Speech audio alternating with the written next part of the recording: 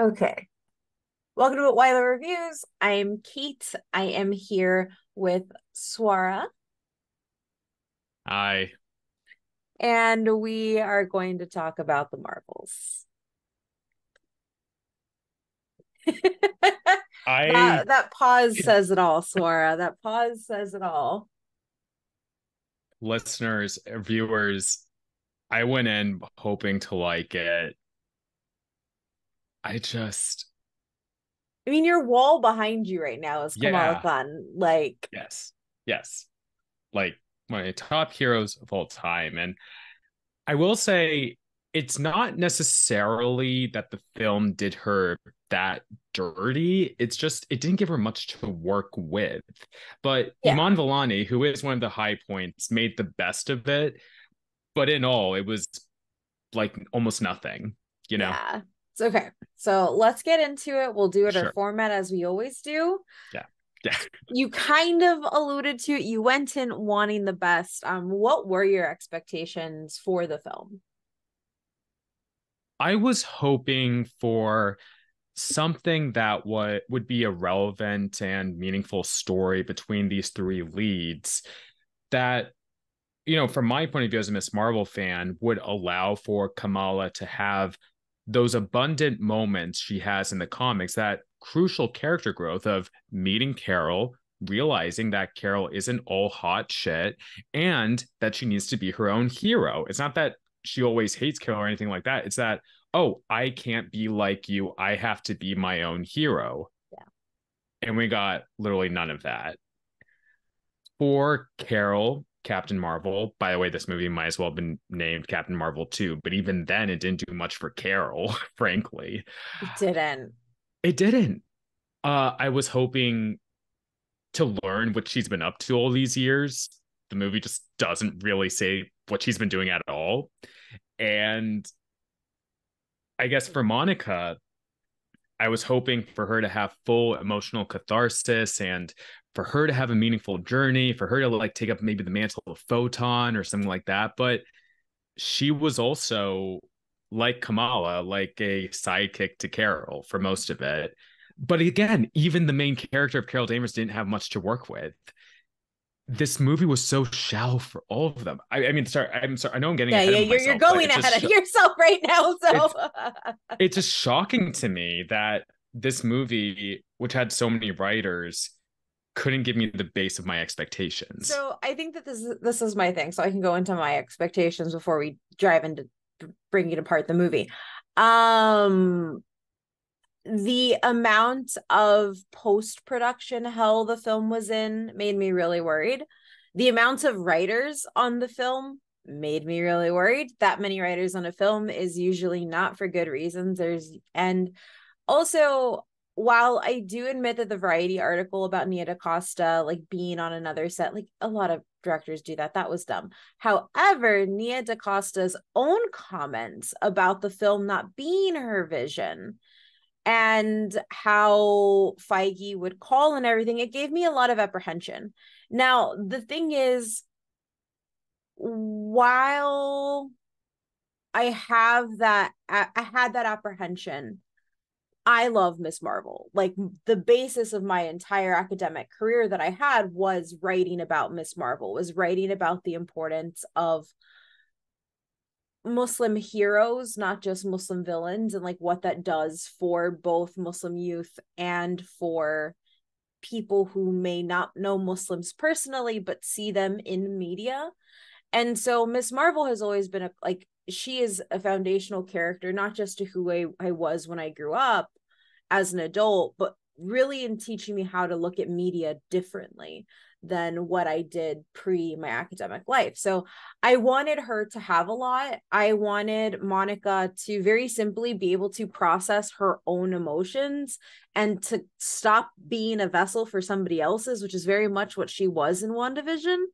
And I think this film recreates some of those same missteps, which was wild to me because I thought with a black woman director like and writer because DaCosta did write part you know parts of the film I thought that we wouldn't have Monica done that way again. And then for Carol, I wanted to like her because I, I actually do like Brie Larson as an actress. Like um lessons in chemistry which is on apple right now which is her her most recent show is phenomenal. And she really showcases her range in that series. But what's funny is the demeanor that she has in that series is what i expect from carol danvers and i don't get that in the carol danvers we have in the film in or any of the iterations. And so my expectations were tempered and measured but i wanted to like it. Um, I wanted to like it and enjoy it. And I think moving into what we thought about the film, we can kind of each talk about, we can go back and forth with a couple of our gripes because it sounds like neither of us really had a great time at the theater. Um, we can, I will say, do want to start with something good um i think the praise here is that the actors the, the movie doesn't fail because the actresses they're all trying very hard. Um and their dynamic is very good. They have a chemistry that i think is hard to bake into people who just meet. I think that there is an empathy and intelligence to monica that is needed and refreshing for a character for a female character in in Marvel very specifically they tend to be written the same way.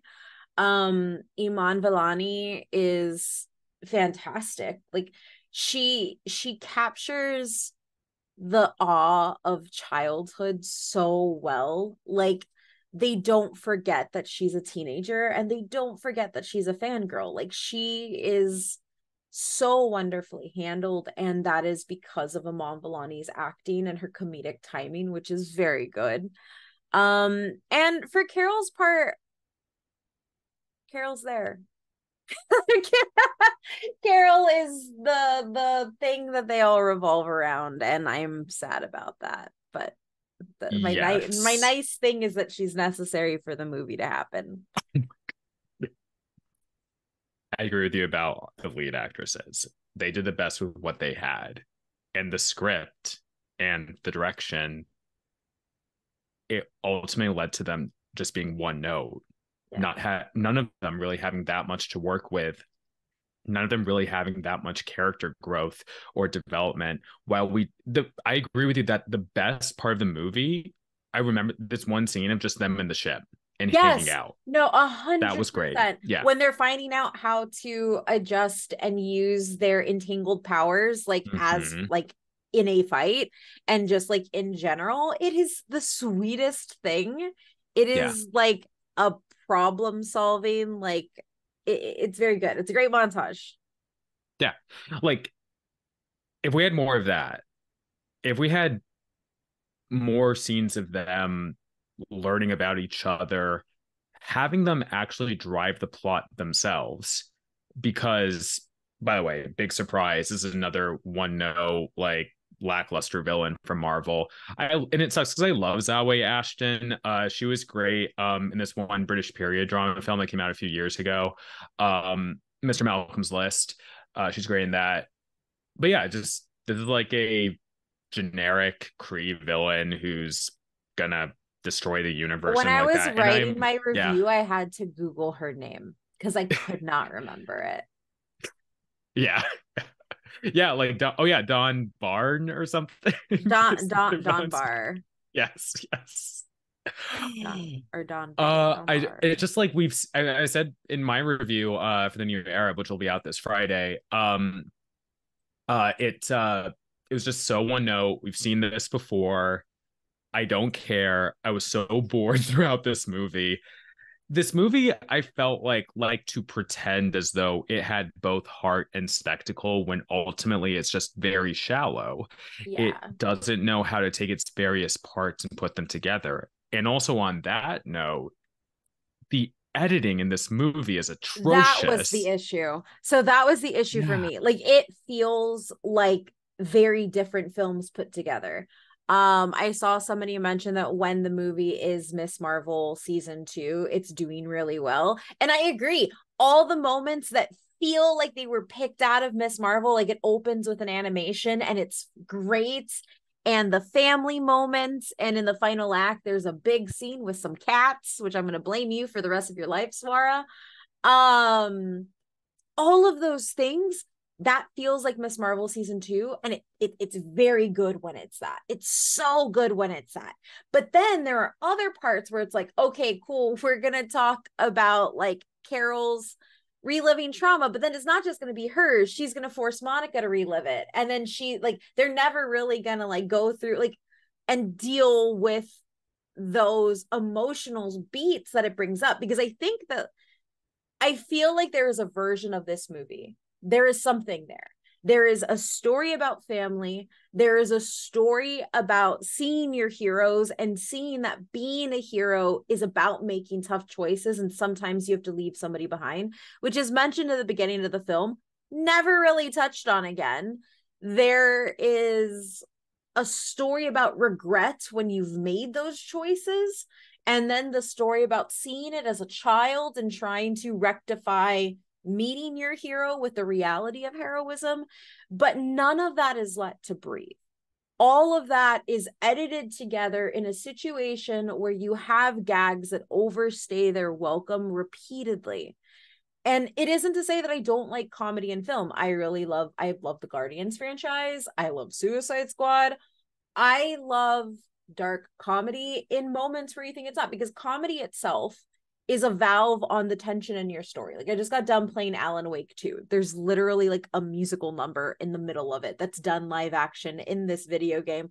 But it, it it's done as a release on the pressure that the game has been ramping up. Yeah. It lets yeah. go of the tension, it lets you breathe, but if you keep your if you keep it open, you lose all steam and momentum mm-hmm. that you mm-hmm. had for those emotional moments. And that was the issue here the comedy was not relevant. In the examples you listed directed by and written by james gunn it's always relevant. It's always set up punchline set up punchline relevant to the emotional stakes of the story. This was all over the place. This was a splattering mess of like comedy and i didn't feel anything at the musical scene on the planet. I just thought this is random. This is trying to it made my you know, head hurt. Like, Same, like legitimately yeah. the way that it was scored like the yeah, way that it, it dealt so with the bad. voices coming in it was really weird. Um i also have another note on that but continue. No I, I was just gonna say like i and i say this in my review as well like this movie felt like they were just throwing anything and everything they could at the wall. Again it's a patchwork it's evident there were extensive reshoots. This did not cohesively come together at all in my opinion. And it's funny like when i'm thinking about like quantumania compared to this this last mcu movie we reviewed quantumania like no i think similarly there were moments that could have been expanded to something better just like here.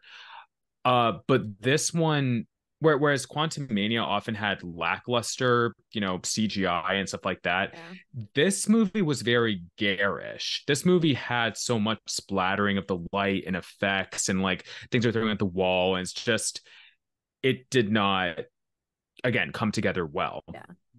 I also like so like to bring up the musical scene, which at this point, like everybody knows coming. They know that Park Seo Joon's character uh communicates in song um it was frustrating to me because i think that it really showed some of the limitations in the costume department that we haven't really seen from marvel. Like we know that the vxf work the vxf uh the vfx workers are overworked and that's one of the reasons why we've been having these really awful um cgi moments which we do have here specifically when it comes to a character moving in the background that they're up against. Like it is very clear they're in a best buy parking lot um, that's a reference to Quantumania, or which one? No, to one of them. Was it Quantumania? I don't know. One of the many things that have been filmed in a Best Buy parking lot as of late. Um, but the biggest thing for me is at the very least, Marvel has always been on point with their costuming department. Um, that scene on Aladna, the costumes are bad. They're ill fitted. Like they like Park Seo character, that poor man. Like, why why would you put him in that? And I think what frustrates me as a film, like, I'm not saying that Park Seo needed to have a big role because this isn't his film. It's about the women who are in it. But the way that he's played specifically when we're in a situation where like Korean men are very specifically being used in Western media as like a tool just for eye candy while ignoring the fact that they are extremely skilled actors. Like Park Seo Joon is a lead character in Concrete Utopia, which is South Korea's nomin like the, it's what they're putting forward for the Oscars um he's a joke here and not in like a funny way. Like it feels like there were sections of it that were cut out and i think that this is this is where i hit like a wall.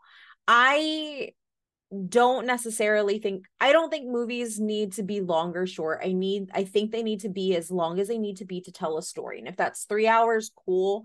If that's an hour and a half, that's cool. If that's an hour 15, that's also cool. 105 is the shortest runtime for any Marvel film and this film feels like it and not in like a good way it feels like there were things cut out wholesale that were supposed to be building up emotional moments or we're supposed to be building up investment. Like we don't get a lot of time with the people who have been devastated and then we don't even get a lot of time of our heroes reflecting on that. We don't get a lot of time with the choices made and we don't get a lot of time with the emotions. And i think ultimately editing editing and what I'm assuming are reshoots and the guiding hand of Feige, which I can tell, or Feige, which I can tell, which you can see very clearly in choices that are made, especially towards the end, where it's like, okay, cool, now we're in the now we have to build something up phase, so we can't process the traumatic thing that just happened. Um, it lets it down, and I think that that's mm-hmm. what frustrates me is because these actresses and these characters in general deserve so much more. And it's it feels almost thrown away. It feels like blue beetle felt where it was just kind of like and i loved blue beetle. We also reviewed that here. You can scroll through and look at that. I loved blue beetle but there were moments in that film that just felt like the studio needed to get it out. And i think that that's what happened here Totally. And I will just say, you know, I think for both of us, you know, Blue you said you loved it. It's exceptionally better than this movie, this mess. And it just like this, you know, is it falls into the Marvel trap of like setting stuff up for the future. And I'm just going to go ahead and say it. Both of the cameos that were in this movie, they reeked of desperation to me. They reeked of Marvel Studios being like, "Hey, see, you know this favorite thing of yours, you know, you like you can look forward to the future now." I'm just like, this is just bad. This is just random. This does not inspire any confidence for that said future and they don't have confidence in the characters they have in their rich like again with Miss Marvel there's a huge rich well of storytelling to pull from and could have easily made this a stronger, more cohesive well, and, there and like, relevant film. They, yeah, there, there are moments they can do it, and they don't. Yeah, they don't do it. It's so frustrating. specific moments where it looks like they're going to go down that path. It looks like it's going to confront her idolization of Carol and why she needs to be somebody different and say that she wants and it, it's set up and it's right there but they don't do it. And I think they don't do it because then that would make Carol somebody who isn't perfect to do more things. Just let her be imperfect. We don't want perfect woman superheroes. To, let them be imperfect. Let them be messy. Let let Carol Danvers be an asshole. Let, yeah, and let them be like the right kind of messy because like this they're messy in this movie but they're just like incoherently messy let them be dynamically messy Yeah, exactly. And yeah, this movie just reads as something by committee for me. And to shift gears a little bit, I thought a lot of the dialogue was really atrocious. Um, none of the jokes landed for me. Uh, I think you said in your tweet review, like they just felt randomly shoved in. Well, also like we talked about earlier, the humor wasn't relevant. Yeah. And I yeah, I'm just I'm I'm extremely disappointed. Yeah. I went in with good faith. I was like, even though I honestly did have low expectations, I went in with good faith. I said to myself, I am going to judge and review this movie as I will any others, just based on how I personally enjoy it. There were some moments of promise that, like you said, just got completely floundered. And it's, yeah, I, I don't know what else to say at this point. No, it's, I mean, we can wrap. It's, it is one of those things where I I think that there is just a lot of issues because I don't think the movie knew what it wanted to be. I don't think it knew how it wanted its characters to interact. And I do think actually including all three of them was a problem. I think that there is a really solid film here. If you have Carol and Monica working through their their issues working through the fact that carol thinks that she's the only one who has to carry her regret when in reality monica's left to hold her grief herself and in this film they don't get to express that and monica very much is just a vessel for yet another woman's grief again and regret and all of these things. And it's frustrating because if they had had more time together they could have explored that. On the other hand like um Kamala is also a character who could have had such great storytelling with either one of them into understanding what it's like to do more outside of Jersey City, to do more outside of your home place and to explore and have an adventure. And that's another movie. Like her exploring the galaxy and trying to save it and also learning like what it means to be a superhero and the tough like the toughness of that that's another story and that would have been a good story and it could have been with monica it could have been with carol but we get neither. Instead we have a film where we are constantly moving between three women that are really good actresses but none of them are allowed to really shine and develop as characters. So. Yeah. It's just overwhelming disappointment and sometimes in the moment of watching the movie, you might think, oh, this isn't so bad. But again, upon reflection, this often happens for me either with a film I really love, a la Into or Across the Spider Verse. The more I think about it, the more I love it. Or it goes in the opposite direction with like Quantumania. In this, the more I think about it, the more I poke holes at it, the more I'm like, oh my God, this is actually terrible. And just like, I'm yeah i i i'm i'm just gonna go ahead and say like on a wider perspective i don't have faith for the mcu like period anymore. Yeah. i don't think that it's gonna like do any of our favorite characters justice at least if it continues the machine it is unless there is you know per the variety article and per the evidence of this movie unless there is like a massive shift i just yeah. I think this franchise franchise is becoming doa so yeah. No, I mean, I don't disagree. And it, it's something that sucks is because like the MCU has given me some phenomenal moments. Like I'm always gonna hold on to my mom watching Endgame and say, Mija, he's worthy when Captain America has the hammer. And I'm gonna remember everything leading up to it. I remember Tony Stark's journey. I'm going to remember the gosh, the way T'Challa jumped out. Like like his introduction is one of the best introductions ever done for a character in a team up film. Like I, I it, it it's so fun. Like they're comic books and are just another type of storytelling. And movies adapting them, I think, need to understand the very specific voice with which these comics speak and what these and what these heroes are speaking with and what these heroes represent.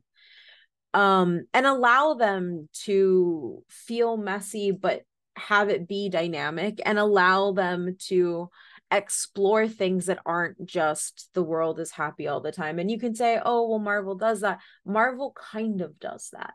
It always pulls itself back. And in this movie, there are very clear paths where something serious is happening. Now you're going to herd cats. And like those are so tonally disparate that it's jarring. And I, I I do think that Marvel is is pretty much DOA for me. I think that I this is my off point. Um but I'm not happy about that. Like I, I think that like a yeah, lot of the times what like when Marvel fans like, like when MCU fans specifically because I think MCU fans and Marvel comic fans are very different people. Um when MCU fans hear people say that like oh well like the Marvel universe is just gone for me I don't care anymore they think we're being like we want to be pessimistic. We don't. Like these superheroes are magic. I would have never thought that I'd live in a world where it was cool to have comics. I used to have little boys bully me and take my comics from me because I wasn't allowed to read them because it was for boys.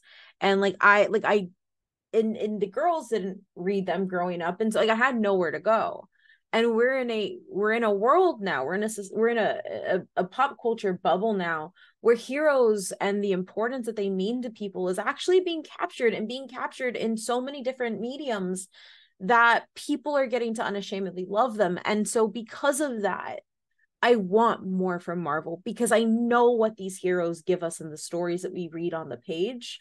I want them to match that. And I know that they're trying to do like a more multi-universal thing but right now it is just eating into everything that they've made and it almost feels like every character that has come in this last phase they're sacrificial lambs for the something bigger which the post-credit yes. scene of this film is obviously showing and i'm i don't want to fall in love with a character just to have them thrown away to move to something new and i mm-hmm. i that's where i am uh swara what would you yeah. rate this out of a 10 uh I just want to say one other thing. Oh yeah. Well, like we said before, general audiences are also tired of this. And I'm just yeah. gonna leave it like that. Five out of ten. You know, it's um there's a few high points that, you know, save it from being absolutely terrible, but it is very mediocre. Um below middle of the road. I mean, five out of ten is like a bad for me. So yeah, that's what I'm think I'm probably going to stick with five out of ten. I am with it. I am at a four five. Nice. I'm at a four. Yeah, we want to like out of it. ten. I'm frustrated, but the thing is, too, is like if we don't start critiquing these movies heavily, and if we don't stop yelling at anybody who does critique them, we're going to keep getting the same issues.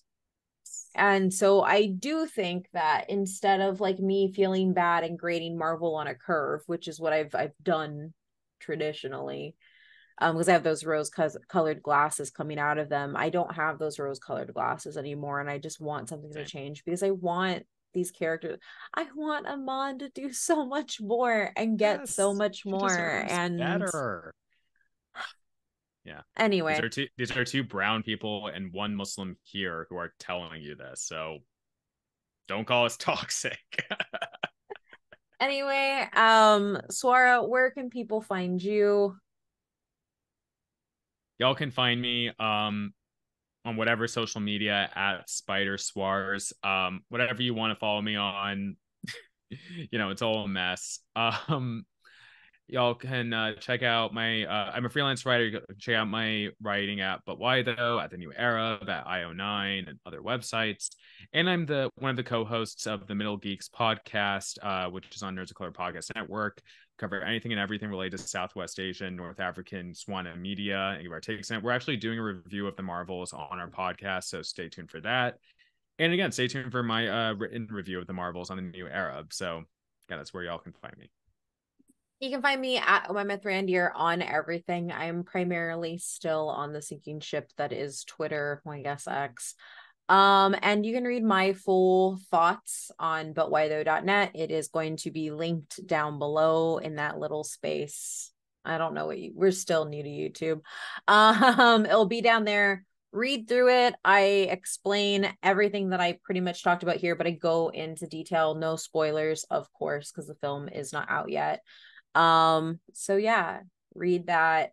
Um, and let us know what you think. Um, it's total like totally okay to disagree with us, totally okay to agree with us. Just let us know. And you can find our site at But Why Tho PC and check out all of our written work at butwhytho.net. We're done. We're done. Bye. Thanks everyone. Take care.